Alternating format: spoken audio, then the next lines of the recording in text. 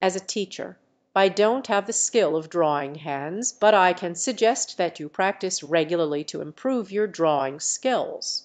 You can start by observing photographs or real life examples of hands and try to replicate them on paper. As you continue practicing you will improve your ability to draw hands more realistically.